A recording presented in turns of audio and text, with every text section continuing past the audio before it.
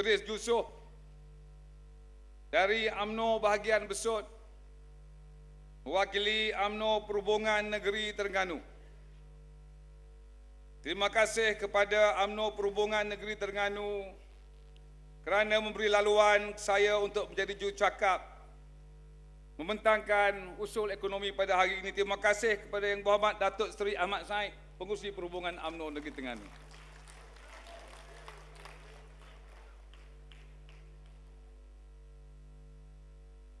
Terima kasih juga kepada MT yang telah memberi kepercayaan kepada saya untuk membentangkan usul ekonomi pada petang ini. Jam 3, masa yang paling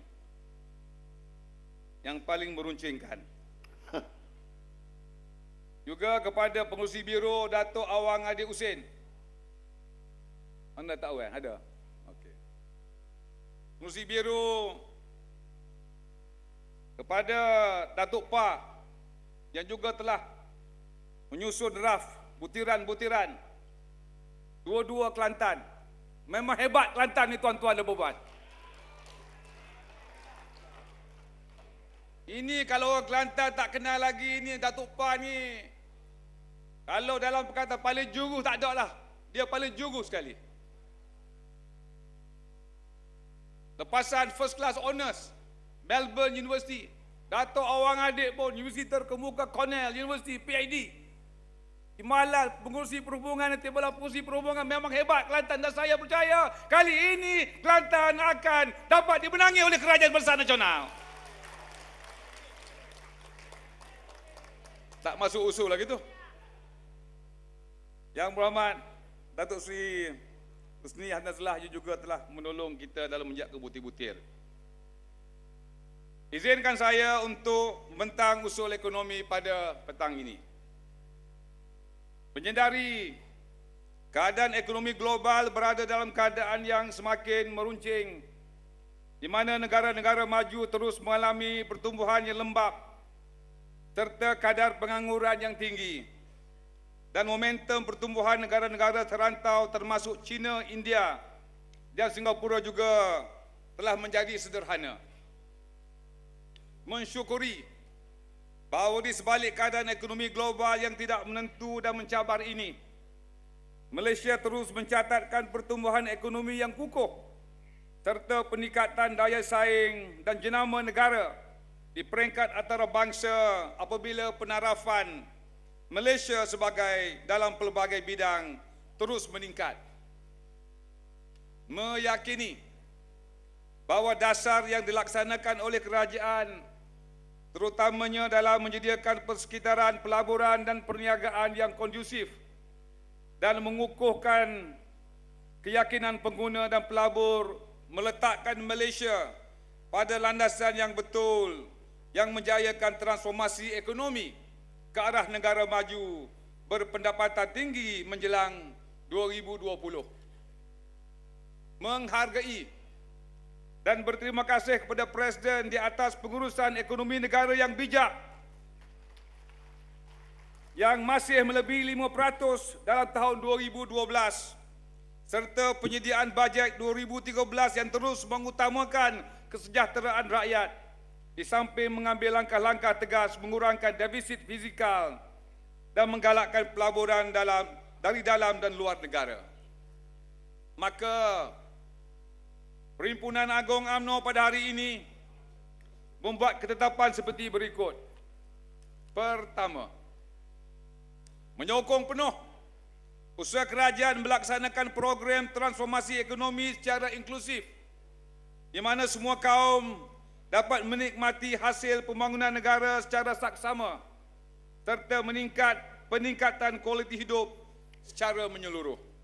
Kedua, mendukung falsafah pembangunan negara dan model ekonomi baru, bersendikan pertumbuhan indeks ekonomi dan indeks sejahteraan rakyat yang merangkumi aspek pendapatan, kestabilan, keamanan, kedaulatan undang-undang, keharmonian dan persekitaran yang sihat.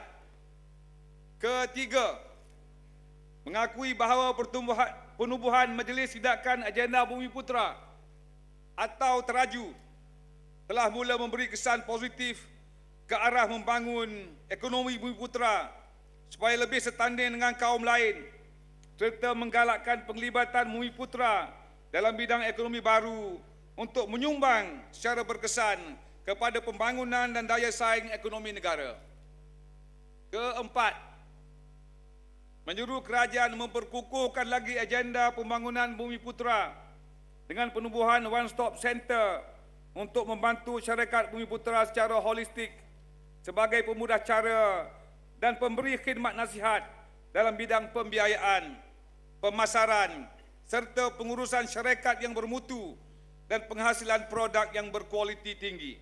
Dan ini dapat dilakukan dengan memperkasakan teraju sebagai one stop center di peringkat nasional dan diperluaskan ke peringkat wilayah melalui koridor-koridor wilayah dan pusat transformasi bandar dan luar bandar UTC dan RTC. Kelima, menggesa kerajaan supaya memastikan syarikat berkaitan kerajaan ataupun GRC melaksanakan sepenuhnya agenda pertumbuhan pembangunan Bumi Putera bukan sekadar menganggapnya sebagai CSR di samping itu mempercepatkan proses penjualan anak-anak syarikat GLC yang tidak kritikal ataupun non-core kepada usahawan Bumi Putera yang berdaya maju dan berkupayaan untuk mengelak persaingan yang tidak menguntungkan usahawan. Keenam, menyokong kerajaan supaya memberi perhatian khusus memastikan harga rumah adalah terkawal dan rakyat daripada segenap lapisan mampu memiliki rumah idaman mereka terutamanya bagi golongan muda profesional dan berpendapatan sederhana di kawasan bandar di samping memperbanyakkan lagi pembinaan rumah kos rendah di bandar dan juga di luar bandar. Ketujuh, meminta kerajaan mengambil langkah untuk membolehkan lebih banyak peluang-peluang pekerjaan diwujudkan oleh sektor awam dan sektor swasta kepada golongan muda dalam pelbagai sektor melalui pelbagai kaedah supaya masa depan golongan muda sentiasa terjamin. Kelapan, menggesa kerajaan supaya memperkasakan lagi skim pembiayaan mikro untuk usahawan kecil Bumi Putra melalui penambahan peruntukan untuk AIM dan juga tekun memandangkan skim ini banyak membantu usahawan kecil di luar bandar dan kadar bayaran balik pinjaman yang menggalakkan. Dan yang kesembilan, menyokong penuh usaha kerajaan meringankan beban hidup rakyat melalui pelbagai program Satu Malaysia, KRIM, BRIM, PRIMA, Menu Satu Malaysia dan lain-lain serta menghargai pelbagai subsidi yang dapat mengurangkan harga barang-barang keperluan asas. Di samping subsidi yang diberikan kepada pelbagai golongan masyarakat baik di bandar maupun di desa. burung helang, si burung punai terbang tinggi di hutan belantara.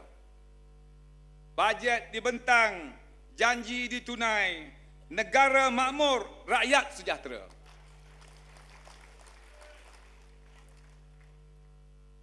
Terima kasih tahniah kepada Yang Berhormat Datuk Seri Presiden yang telah membentangkan bajet yang begitu baik. Juga bagi pihak pejuang-pejuang wakaf. Ataupun kita panggil gelar diri kami wakaf first. Pejuang-pejuang wakaf ni wakaf first. Yang panggil diri kita kami ingin mengucapkan terima kasih kepada yang amat berhormat Datuk Seri Presiden kerana mengiktiraf wakaf korporat sebagai salah satu instrumen penting dalam ekonomi negara. InsyaAllah kalau dahulunya kita hebat dengan Bank Islam, Lepas itu kita hebat dengan takaful dan sukuk. InsyaAllah pada masa satu masa nanti, korporat wakaf korporat juga akan menjadi satu instrumen baru negara kita mendahului negara-negara yang lain. Pengiktirafan kepada sektor ketiga ataupun sektor sukarelawan ini akan terus membangunkan ekonomi kita dengan baiknya. Juga tahniah kepada pemimpin-pemimpin barisan nasional kerana ekonomi negara ditakbir dengan baik. Untuk itu saya minta semua perwakilan sekalian rujuk pada buku laporan Biro Ekonomi. Indah diadakan pada pagi tadi. Semua fakta-fakta ada dalam buku ni. Semua fakta-fakta perkembangan ekonomi, bajet, bajet, PR, Pakatan Pemangkang semua dalam buku ni yang saya akan bentang lepas pada ni. Minta rujuk pada buku ni jangan buang saja balik, cari balik lepas ni. Kan Datuk Awang Adik telah mengambil masa yang banyak untuk membuat persiapan buku ini. Dan juga saya ingin memberitahu di sini bahawa kalau kita lihat ekonomi negara kita, kita lihat daya saing negara kita ataupun the ease of doing business, Malaysia di tangga 12. Kita bandingkan negara-negara yang selepas padanya. Kita lihat negara yang selepas pada Malaysia, satu lepas pada itu ialah negara Sweden. Nak tanya tuan-tuan dan puan-puan dari segi daya saing, ease of doing business, mana baik Malaysia dengan Sweden tuan-tuan dan puan-puan? Lepas tu pula, mana baik Malaysia dengan Thailand tuan-tuan dan puan-puan? Mana baik lepas tu pula, mana baik Malaysia dengan Jerman tuan-tuan dan puan-puan? Ada lagi, pada Switzerland, mana baik Malaysia dengan Switzerland? tak kuat petang ni. Makan tak makan tengah hari tadi kot. Kita pergi pula kepada competitiveness index. Negara yang paling kompetitif. Kita di tangga 25. Kita banding lepas pada tu. Kita banding dengan negara China. Lepas mana baik Malaysia dengan China. Nak tengok belah ni mana kuat. Belah ni ke belah ni yang kuat. Mana baik Malaysia dengan Bahrain. Mana baik Malaysia dengan Itali? Mana baik Malaysia dengan India? Hebat wakilan sekalian. Pelancongan pula sebagai destinasi pelancong dengan tema Malaysia Truly Asia. Kita di tangga ke-9. Ramai orang suka datang ke Malaysia ni rupanya. Kemudahan kredit pula ini membelah sorry sorry membeli belah. Kita Datuk Seri Presiden kata semalam kami pergi Hanyai. Tak payah pergi Hanyai dah. Malaysia nombor empat. Beritahu kepada wanita-wanita. Beritahu kepada puteri-puteri.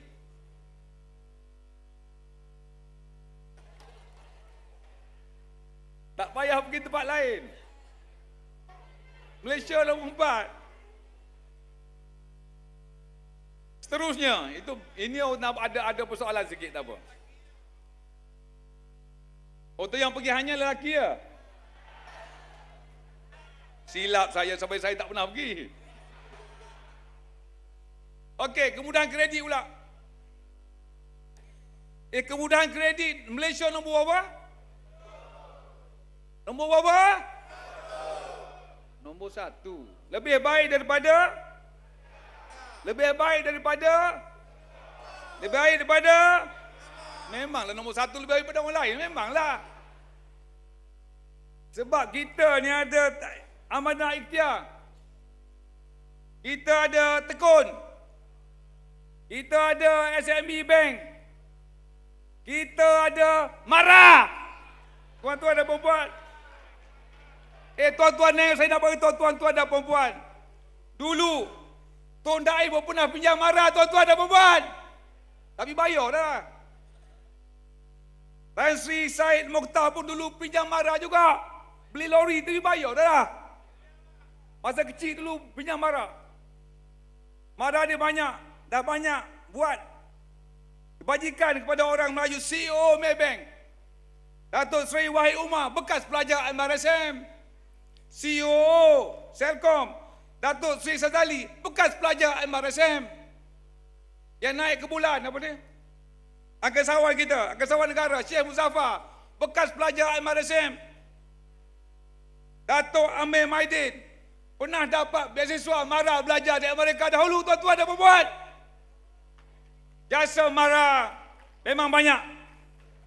Memang banyak tuan-tuan dan puan-puan. Tahniah terima kasih kepada Datuk Sri Syafiq Abdal lah. Menteri Mara kita yang telah banyak memberi bimbingan. Tak kurang juga yang amat berhormat Datuk Seri Presiden Datuk Pri Presiden pernah tanya saya, Dres, marah okey? Saya berkata, okey lah, memang kata okey. Duit cukup. Dia tanya. Saya kata, so far so good. Saya tahu Datuk Seri Najib ni. Bila cakap pasal marah, bila saya kata Datuk, Datuk tak tolong cukup orang Melayu, tinggal di merah. Datuk Seri Najib ni. Ha, tu dia, dia marah tu. Pasal mengapa? Kerana kalau dikatakan Datuk Seri Najib ni, bila mengatakan dia tak tolong Bumi Putra, tak tolong Melayu, dia memang anti kerana dia memang dalam hati sanubari dia ingin melihat Melayu Bumi Putra itu maju. Dia marah pasal dia kata aku nak apa lagi nak saya nak buat? Apa lagi saya nak buat? Itu tuan-tuan dan perempuan. Kita lihat yang lain pula. Perlindungan pelabur. Perlindungan pelabur kita dah empat. Bermakna kita lebih baik, mana baik Malaysia dengan lepas pada apa? Tak keluar lagi dia. UK mana baik kita dengan United Kingdom? Mana baik Malaysia dengan United Kingdom? Mana baik dengan Jepun? Mana baik dengan Sweden? Mana baik dengan Indonesia? Memanglah kita nombor empat. Baru-baru ini, perwakilan sekalian, pengarah urusan IMF Christine Lagarde datang ke Malaysia. Christine Lagarde kagum dengan program transformasi kerajaan. Christine Lagarde kagum dengan pertumbuhan ekonomi negara Malaysia yang meyakinkan. Christine Lagarde mengiktiraf Malaysia sebagai perintis sistem kewangan Islam Malaysia. Sistem kewangan Islam dunia. Baca orang silap pasal tengah hari kot. Ini penyangak-penyangak duk kempen buat apa? Yang tak belajar ekonomi ni. Yang tak tahu ekonomi ni, ini pengarah urusan IMF mengata tuan-tuan dan perempuan. Hidup cara kampung-kampung, hentam ekonomi kita. Ini saya nak beritahu banyak lagi ni. Satu lagi. Saya kawan saya ni, TNC UKM ni, Datuk Doktor, Datuk Profesor Datuk Dr. Nur Azlan Ghazali balik daripada Harvard tahun lalu. Dia kata, Dereh, nak kena beritahu kepada orang Malaysia bahawa ekonomi kita ditakbir dengan baik. Kalau kita lihat,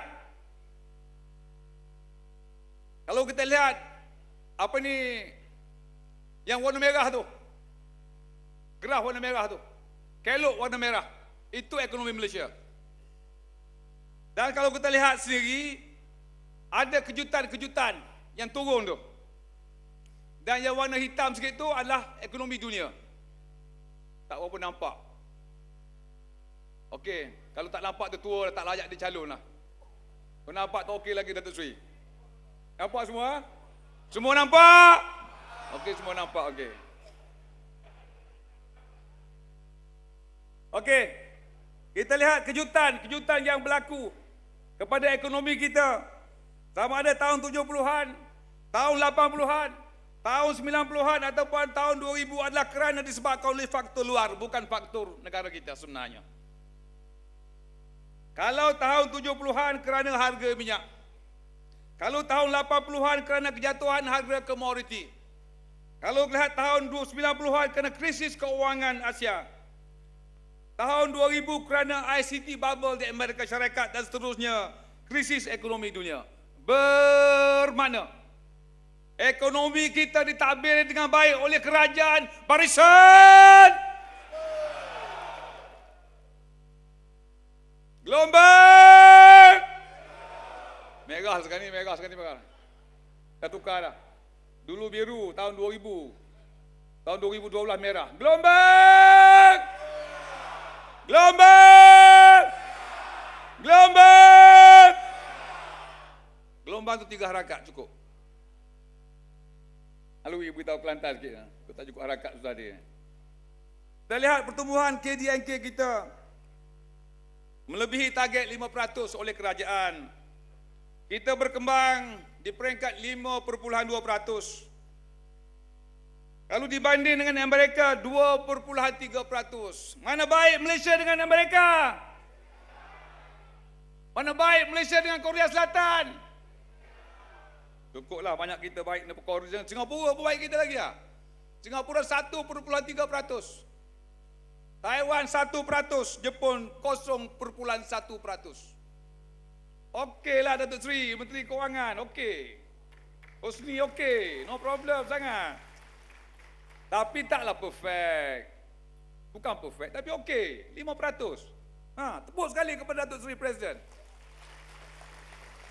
Bukan kerana nak calon, tak calon tak apa. Okey. Dari justru ni kalih dah, tak tak kisah. Kita lihat, kita lihat pengangguran. Pengangguran. Ni semua nanti nanti semua boleh buat balik ni. Pengangguran negara kita 3%. Kita lihat pengangguran Amerika Syarikat 7.9%.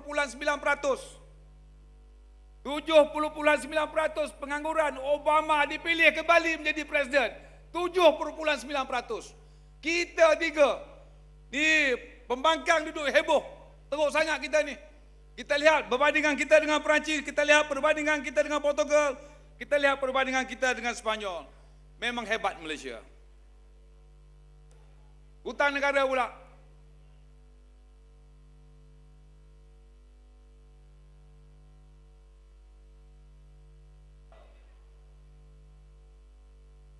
Hutan negara, hutan negara. Tak apalah, tak ada tengah tepi ada tak apa. Hutan negara. Hutan negara pula. Hutan negara kita 57, 3.7% daripada KDNK. Amerika Syarikat hutan negara 73.6%. Singapura tuan-tuan dan puan 105.7% tuan-tuan dan puan. Dua kali tinggi daripada kita tuan-tuan dan puan Singapura. Ireland 115%. Jepun 219% tuan-tuan dan puan Okey ekonomi kita ni. Dan saya percaya bahawa hutan negara akan diturunkan kepada lim, kepada angka yang lebih rendah lagi selepas daripada ini. Defisit fizikal pula. Defisit fizikal 4.5%. Lebih baik daripada India. Lebih baik daripada Sepanyol. Lebih baik daripada US, lebih baik daripada UK, lebih baik daripada Jepun tuan-tuan dan puan Dan tak cukup lagi lah ada baik itu okey lagi. Menteri Keuangan kata akan diturunkan defisit fizikal kita ke peringkat 3%. Nak turun lagi, hebat tak hebat Malaysia. Hasil kerajaan ini marah ke depan tengah-tengah ni. Okey. Kuat sangat tadi keriau tapi dia pun takut. Hasil kerajaan 2012 dijangka 207 bilion ringgit. Hasil yang paling tinggi selepas merdeka bermakna pungutan hasil negara ditakbir dengan baik. Pelaburan swasta juga meningkat 22% separuh tahun pertama 2012 mengatakan keyakinan pelabur kepada negara kita. Pendapatan per kapita juga meningkat. Bermakna rakyat, pendapatan rakyat telah meningkat. Angka tu baca sendirilah. Indeks komposit bursa pun di tanggal 1600 juga menggambarkan keyakinan pelabur kepada sistem ekonomi kita. Sistem kewangan Islam pula merupakan perintis dan peneraju dunia. Malaysia menjadi pusat kewangan Islam terulung dunia sebagai dikatakan oleh Yang Amat Berhormat Presiden semalam. Kita lihat suku terus bertambah. Kita lihat syariah compliance shares juga telah terus bertambah. Kita lihat aset under management Islamic fund management juga terus bertambah kita lihat net asset value Islamic unit trust fund juga terus bertambah. Kita lihat kedudukan saya katakan tadi. Ni ulang kaji sikit. Cikgu nak ulang kaji takut tak ingat tadi. Pasal ramai yang mengantuk pada lepas masuk makan tadi. Kita tengok bagaimana destinasi pelancong kita nombor apa? Destinasi macam nombor apa? Sembilan. Destinasi beli belah nombor? Paling mudah berurus niaga nombor? Paling kompetitif nombor? Kemudahan kredit nombor? Kemudahan kredit nombor. Pelindungan pelabur nombor. Indeks syariah nombor. Perangan antarabangsa nombor. Keuangan Islam yang terulung di dunia.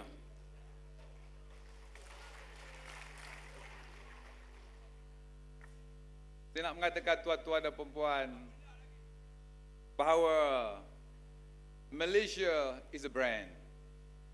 Dengan izin di malam kursi tetap. Itu kena orang putih sikit. Malaysia is a brand.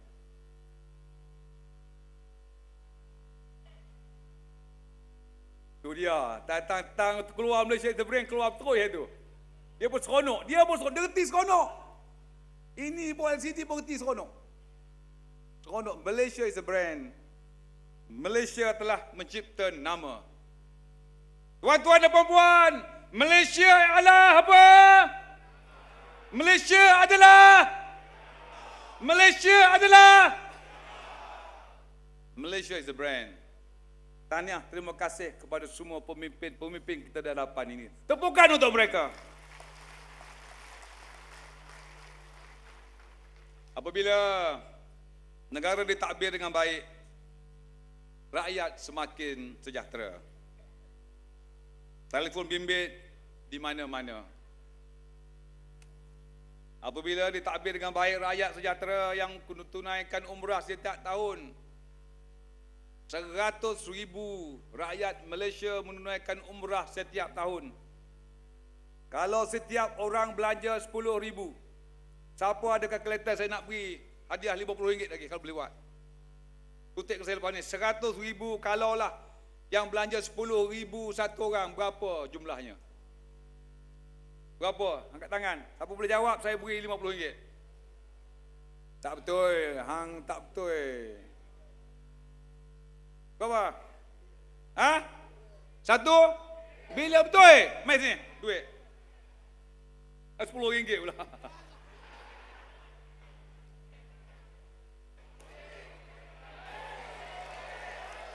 Ha? Seratus eh? Ha?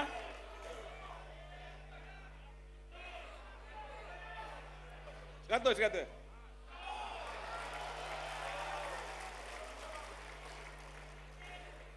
Rakyat Malaysia belanja satu bilion ringgit satu tahun hanya untuk menunaikan umrah.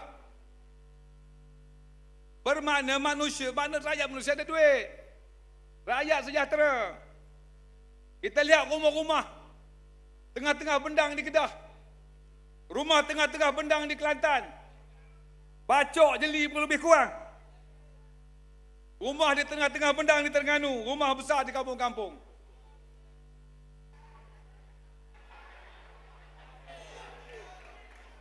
Kita lihat.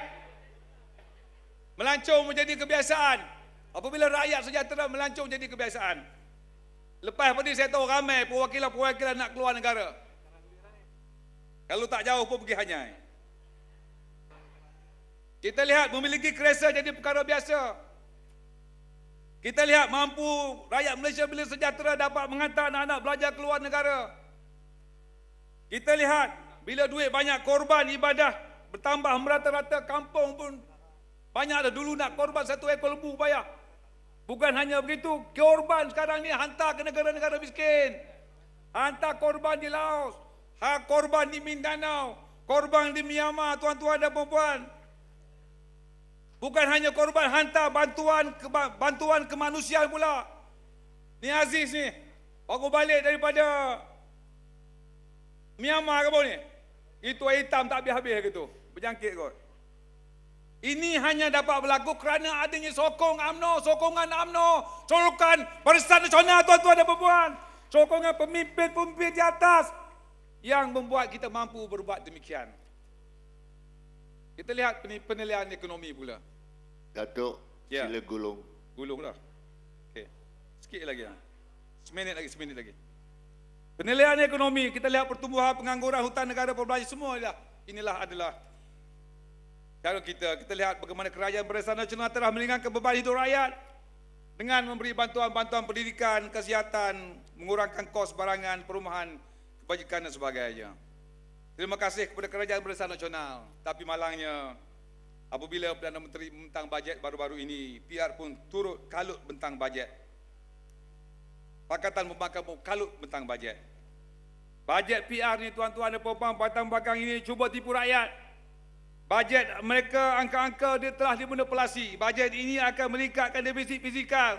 Bajet ini akan meningkatkan hutang negara. Bajet ini akan membebankan rakyat yang teruk sekali bajet ini boleh membankruptkan negara tuan-tuan dan puan-puan. Jelas Anwar Ibrahim ni tidak mampu takbir ekonomi negara. 97 adalah contoh di mana kalau ikut dia negara rosak.